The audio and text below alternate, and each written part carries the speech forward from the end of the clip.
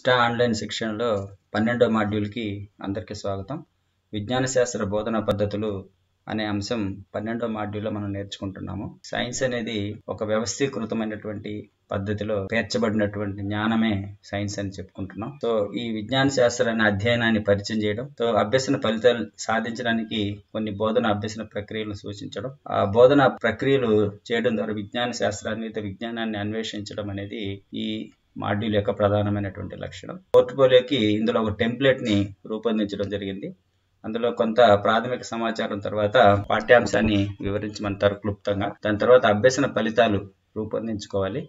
రూపొందించుకున్న తర్వాత ఇది ఒక యూనిట్ ప్లాన్గా తీసుకుంటాం. సో ఈ అభ్యసన ఫలితాల ఆధారంగా చేసుకొని ఆ పాఠ్యాంశానికి సంబంధించినటువంటి వనరులు లేదా టెక్నాలజీ ఏం మనకు అవసరం అనేది ఇక్కడ రాయవలసి ఉంటుంది. కొన్ని అభ్యసన అనుభవాలను మనము రాయవలసి ఉంటుంది. అంటే లెర్నింగ్ ఎక్స్పీరియన్సెస్ని మనం రాయవలసి ఉంటుంది.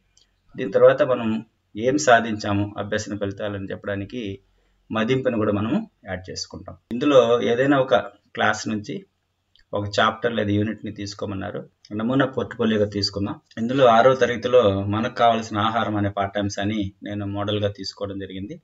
ఇందులో పాఠ్యాంశ అంటే ప్రాథమిక సమాచారం పేరు విషయం ఇవన్నీ తర్వాత పాఠ్యాంశాన్ని క్లుప్తంగా వివరించడం జరిగింది. సో ఇది కూడా మనకి పాఠ్యాంశం చివర మనం ఏం నేర్చుకున్నాం అనే అంశంలో ఇవి ఉంటాయి. వాటిని కూడా మనం తీసుకొని రాయవచ్చు అభ్యసన ఫలితాలు. సో కంపల్సరీగా లెర్నింగ్ అవుట్కమ్స్ అనేటువంటి మనం గుర్తించి ఐడెంటిఫై చేసి ఇక్కడ రాయవలసి ఉంటుంది. సో విద్యార్థులు ఈ పాఠం పూర్తయిన తర్వాత ఈ అంశాలను నేర్చుకుంటారు అనేది అభ్యసన ఫలితం కింద మనం రాయవలసి ఉంటుంది. దీని తర్వాత వనరులు సాంకేతికత. అంటే ముఖ్యమైనది సో ప్రతి పాఠం చెప్పడానికి మనం కొన్ని వనరులు అవసరం కొంత టెక్నాలజీ కూడా అవసరం. ఇప్పుడున్నటువంటి ఇరవై ఒకటో శతాబ్దంలో కంపల్సరీగా ప్రతి టీచర్ కూడా టెక్నాలజీని ఉపయోగించాలి కాబట్టి ఏం టెక్నాలజీని యూస్ చేస్తారని కూడా మనం అక్కడ రాయవలసి ఉంటుంది. అంటే పాఠం మొత్తాన్ని చెప్పడానికి మనం ఏం కావాలని కూడా అక్కడ రాస్తాం. దీని తర్వాత అభ్యసన అనుభవాలని మనం లిస్ట్ అవుట్ చేస్తాం. సో వివిధ రకాల ఆహార పదార్థాలను తయారించడం వాటిని సేకరించడం ప్రదర్శన చేయడం. తర్వాత ఏదైనా హోటల్ కనుక దగ్గరుంటే అక్కడ ఉన్నటువంటి మెనూని వాళ్ళకి చూ ప్రపంచ ఆహార దినోత్సవం రోజున ఆహార భద్రతను గురించి వివిధ పోటీలు నిర్వహించి అదేవిధంగా ఎవరు ఆకలితో అలమటించరాదనే చిన్న రోల్ ప్లే కానీ లేదా నాటక ప్రదర్శన ప్రదర్శన ఆహార పదార్థాలు కావాల్సిన దినుసులు జట్ల వారిగా తయారు చేయించుట. సో ఆ దినుసులు వాటి వనరులను విద్యార్థులే సేకరిస్తారు. అంటే ఇప్పుడు ఉదాహరణకి పాయసం చేయడానికి ఎలాంటి దినుసులు కావాలి? ఉప్మా చేయడానికి ఎలాంటి దినుసులు కావాలి? దోశ చేయడానికి ఎలాంటి దినుసులు మనకు కావాలని వాళ్ళు వివిధ జట్లు రూపొందించి ప్రదర్శిస్తారు. తర్వాత ఒక ఫుడ్ ఐటమ్ని మనము విద్యార్థులకు ఇచ్చి దాని కృత్యం ద్వారా చేయమని చెప్తాం.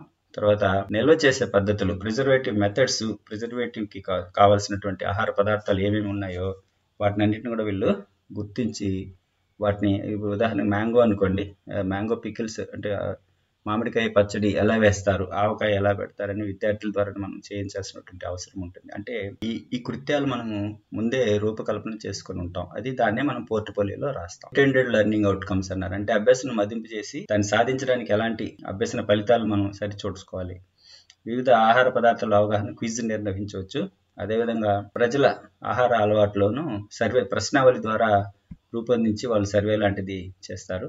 అదేవిధంగా కొన్ని దినుసులు ఇచ్చి విద్యార్థుల దగ్గర దాన్ని వంట రూపంలో చేయడం వల్ల వాళ్ళకి అనుభవాలని రికార్డ్ చేయవచ్చు. తర్వాత ఒక చిన్న లఘు పరీక్ష నిర్వహించి వారి యొక్క అవగాహన పరిశీలి తర్వాత అదేవిధంగా మనకు ఆహారాన్ని అందించే మొక్కలు ఎడలా అభినందించడం జీవ వైవిధ్యత పట్ల ప్రశంసను చూపించడానికి విద్యార్థుల యొక్క అనుభవాలని రికార్డ్ చేయడం. సో ఇది క్లుప్తంగా పోర్ట్ఫోలియో అవుతుంది. అంటే వాళ్ళు ఇచ్చినటువంటి టెంప్లెట్ ఆధారంగా తయారు చేసినటువంటి పోర్ట్ఫోలియో. చివరిలో మనం ఒక ముగింపును కూడా ఇవ్వడం జరుగుతుంది. అదేవిధంగా పాఠ్యపుస్తకంలో కానీ ద్వారా కానీ మీరు తీసినటువంటి కొన్ని ఫొటోస్ని కూడా ఇందులో యాడ్ చేస్తే మీ పోర్ట్ఫోలియో మీకు కంప్లీట్ అవుతుంది. అదేవిధంగా మనం ఇంగ్లీష్ మీడియంలో కూడా చూద్దాం. So pedagogy of sciences it's UP level అంటే యూపీ స్టేజ్ ఇది. In this portfolio some of the instructions are given select a chapter from an science text book describe the chapter and terms and key point key concepts write learning objectives and it's very important thing is list out the learning resources needed for that class or topic. Design one unit plan with matching the learning objectives. What are the learning objectives we have already identified? We have to design the some plan of activities and uh, integrate various concerns, gender, art and inclusion inclusive education. NCRT is given one template or a design, very simple design for the portfolio activity. Topic, class, class size. These are the take one lesson from sixth class. Let us measure. These are the key concepts. We use some conventional ways like hand span, foot span, and I framed some uh, learning outcomes. Identify the different measuring instruments utilize different instruments at different situations, understand the standard units of measurements, measure physical quantities and express in standard units, take necessary precautions while measuring. These are the learning out. So, and we have to identify some keywords, plan some learning objective activities. So we have to use some conventional ways like and learning resources need. This is in the traditional instruments like metal rod, tape, survey. We have to procure all these uh, things to before going to the lesson. Individual and group uh, activities are uh, divided into individual and, and uh, group activities.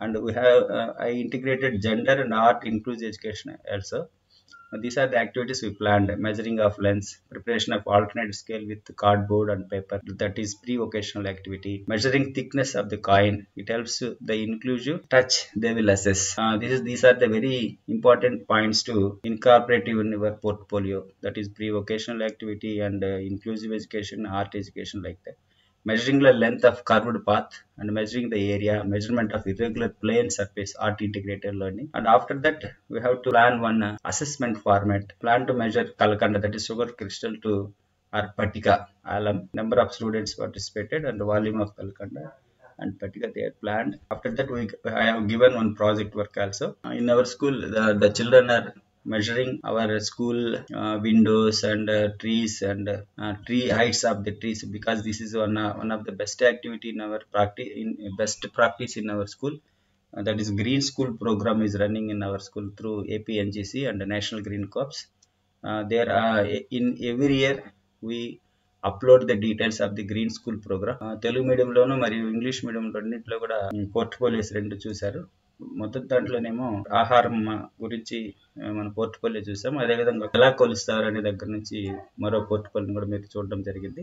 So ఇదే విధంగా మీరు ఏ పాఠమైనా తీసుకొని అది అందులో ముఖ్యంగా UP level అంటే sixth సెవెంత్లో తీసుకొని ఒక మంచి పోర్ట్ఫోలియోని రాయవలసి ప్రైమరీ టీచర్స్ కూడా ఆరు ఏడు తరగతుల్లో కనుక పోర్ట్ఫోలియో చేస్తే మీరు ఆ తరగతిలో ఉన్నటువంటి పాఠాలను కూడా చూసిన వాళ్ళు అవుతారు.